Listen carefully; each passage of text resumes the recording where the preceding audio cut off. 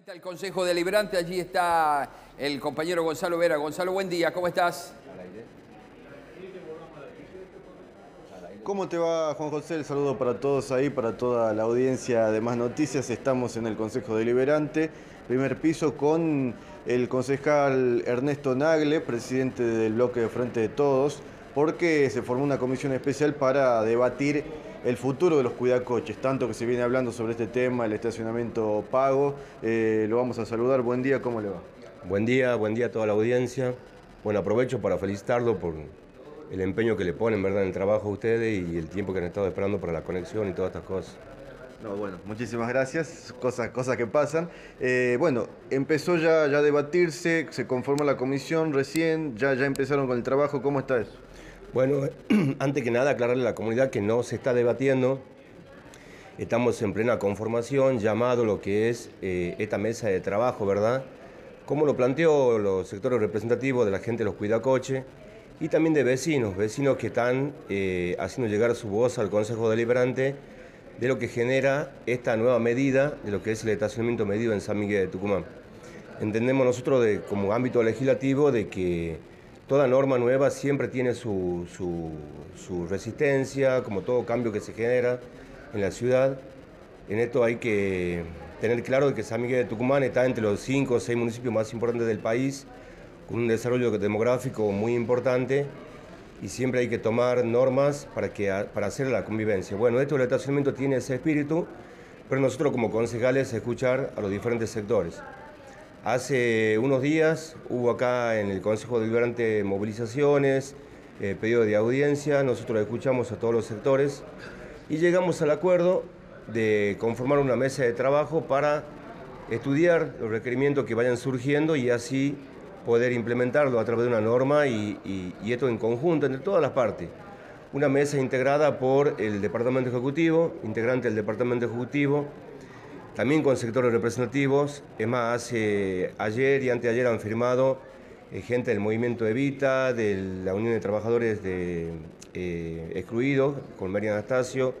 Ahora se está llamando a la gente de Aparcar, también del Centro de Lisiado de San Miguel de Tucumán, para que firmen una resolución interna que hay, que esto lo, lo dictó el presidente, el doctor Juri, para que sea legalmente conformada la mesa por todos los integrantes y puedan ser parte como corresponde de esta mesa y así hacer llegar la opinión que tienen del sector que representan. Lo dejo en diálogo con Juan José Márquez y Daniel Uruña. Hola, buenos días. Eh, concejal, ¿cómo le va? Buen día, el gusto de saludarlo. ¿Cómo está usted? Hola, hola. ¿Me escucha ahí? ¿Cómo le va? Buen día, el gusto de saludarlo. Buenos días, buenos días. Bueno, luego de conformada esta mesa, eh, ¿qué alternativas de solución se baraja para esta gente, concejal? ¿Cómo no, no lo escucho bien? Luego de haberse conformado esta mesa, eh, esta comisión, ¿qué eh, posibles soluciones se barajan para esta gente? Bueno, lo que nosotros buscamos es justamente eso, ¿verdad? Cómo resolver las inquietudes.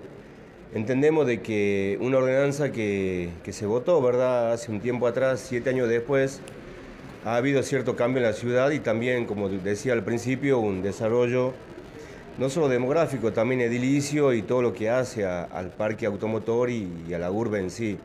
Bueno, nosotros, esa es la intención, por eso es que llamamos, y en esto el presidente del Consejo en su buen tino de decir, bueno, está bien, sentamos a todas las partes para que esto busquemos la mejor resolución posible para, para, para todos en sí, y que los vecinos de San Miguel de Tucumán es lo que buscamos nosotros, de que tengan eh, un buen resultado de esto y también la gente que venía eh, haciendo una actividad. Si bien hay que reconocer lo que es una actividad ilegal, pero está visualizada al fin que, son gente que quieren trabajar. Y esto es un acuerdo este, de todos los bloques políticos, ¿no? De todos los bloques políticos donde la mesa va tan conformada por los presidentes de los bloques, de los diferentes bloques, del bloque de Fuerza Republicana, de, de, de la Unión Cívica Radical, del Frente de Todos y de Junto por el Cambio. También de los sectores representativos de los cuidacoches y también de tres integrantes del, Departamento Ejecutivo Municipal. Concejal, ¿tienen un registro? ¿Cuántos son las personas que están afectados o que han quedado sin su medio de trabajo eh, por la implementación de este sistema de estacionamiento? Mirá, cuando se votó en aquel tiempo esta ordenanza se hablaba aproximadamente entre 60, 80 personas de que tenían eh, la actividad cotidiana en esta, tarea, ¿verdad? Eh, lo que era muy cercano al casco histórico de San Miguel de Tucumán. La ciudad ha crecido de tal manera de que hoy en día tenés estacionamiento eh, más allá de las cuatro avenidas. ¿Por qué? Porque ha crecido mucho. Hay instituciones que están dentro de la urbe, hospitales, centros médicos, escuelas, colegios, diferentes instituciones. Entonces, ¿qué pasa? También ha crecido, obviamente, la demanda en esto.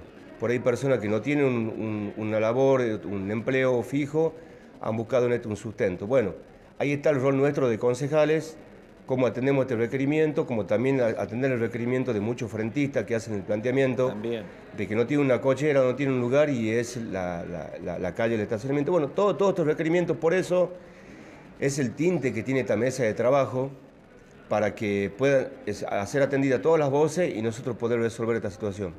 Una consulta al más. Eh, al municipio le queda el 15% que se recauda. ¿No le parece poco?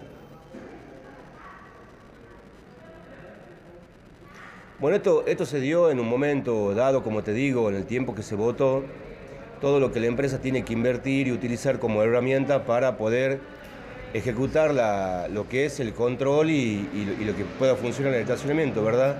Desde los vehículos de grúa, desde los vehículos, desde el personal que tiene que hacerse cargo de estas cuestiones, lo que es el software, el hardware, las señalizaciones, eh, la pintura y todo, todo una cuestión que hace a la tarea en sí, al compromiso de, la, de, esta UTE, de esta UTE de trabajo.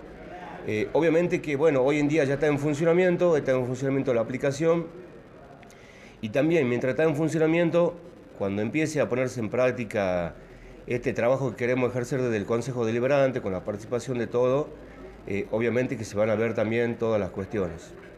Concejal, gracias por estos minutos, eh, muy amable por la espera. Bueno, bueno, muchas gracias y saludo a toda la audiencia. Bueno, gracias, concejal. Está trabajando con el deporte, el concejal también, ¿no? ¿Sabe usted? También, sí, como siempre. todos los concejales, menor o mayor medida, están con el deporte. No, no, el gobierno de la provincia tiene una suerte de Secretaría de Deportes paralela. ¿Sabía usted o no? Sí. Bueno, entonces este, eh, está trabajando mucho con ese tema Nagle. Bueno, Gonzalo, gracias. Volvemos contigo.